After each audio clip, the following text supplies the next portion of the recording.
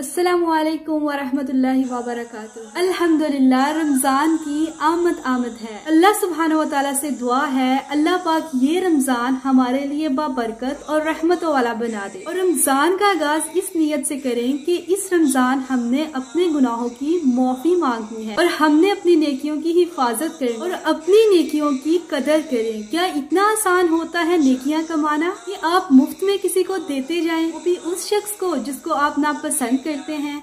इसलिए हमें रमज़ान में सबसे ज़्यादा गिब्बत से इज्तनाब करना रमज़ान मुबारक में करने वाले नेकी और एहसान के काम। सबसे पहला काम रमज़ान मुबारक में रोज़े रखना, सदका खैरात करना और रातों को उठ उठ कर अल्लाह पाक की इबादत करना, यानी रातों का कयाम करना और ज़्यादा से ज़्यादा तलावत कुरान पाक करना। रमज़ान मुबारक में ज़्यादा कोशिश किया करें कि सबका रोजा अफ्तार करवाएँ। रमज़ान मुबारक की सबसे अच्छी चीज़ इत्तेकाफ बैठना। रमज़ान के आखिरी अशरे में खूब सारी मेहनत करना। लैलातुल कदर को तलाश करना उम्र करना कसरत के साथ दुआएँ करना।